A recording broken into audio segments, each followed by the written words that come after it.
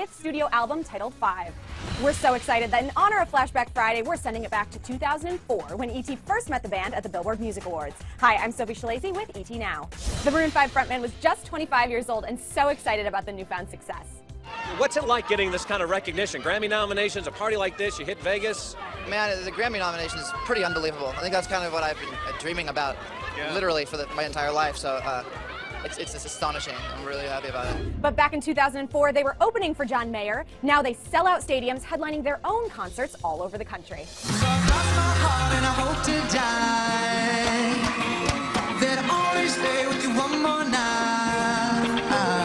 Band has grown from three to five members. They've been nominated for 111 awards, won 25 times, including three Grammys.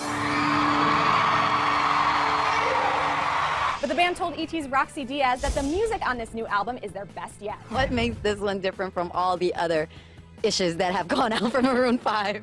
Um, this is the best. I think this is our best album What makes it the best? because it's the best one.